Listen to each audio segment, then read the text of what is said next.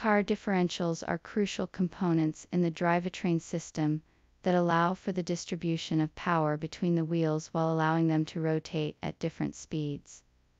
The design of car differentials involves several key considerations. Differential types. There are different types of differentials used in cars, including open differentials, limited slip differentials, ULST, and electronic or mechanical locking differentials. Each tire type characterizes degrees of traction and wheel speed differentiation. Gear arrangement.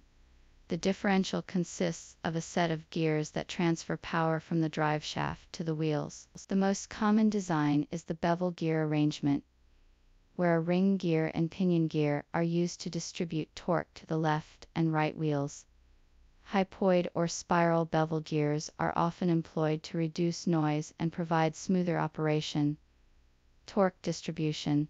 The design of the differential determines how torque is distributed between the wheels. In an open differential, power is evenly distributed to both wheels, the difference difference between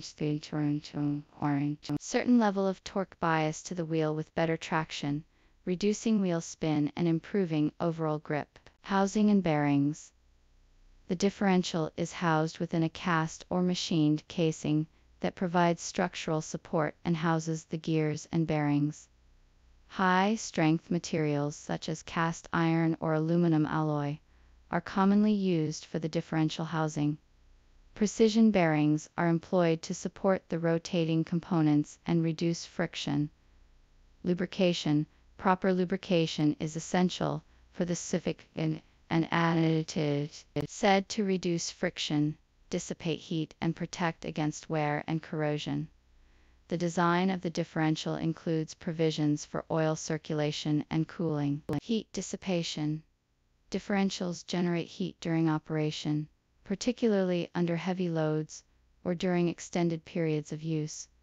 The design incorporates cooling fins or heat sinks on the housing to enhance heat dissipation and maintain optimal operating temperatures sealing and contamination prevention. The differential must be properly sealed to prevent the entry of water, dirt, and other contaminants that can damage and bearings. Enclosure, axle connections. The differential is connected to the axles that transmit power to the wheels. The design includes appropriate splines, flanges, or CV joints to securely connect the differential to the axles while allowing for relative movement due to suspension articulation. Differential locking mechanisms, if applicable.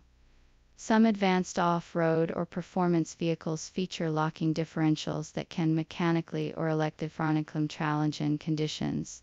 Testing and performance validation. Test, test, testing. Test, testing testing, testing,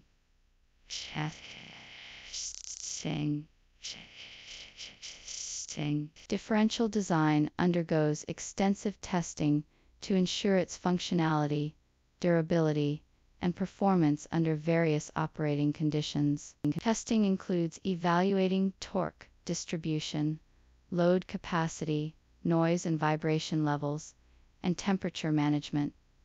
Designing car differentials requires a combination of mechanical engineering expertise, materials selection, and an understanding of vehicle dynamics.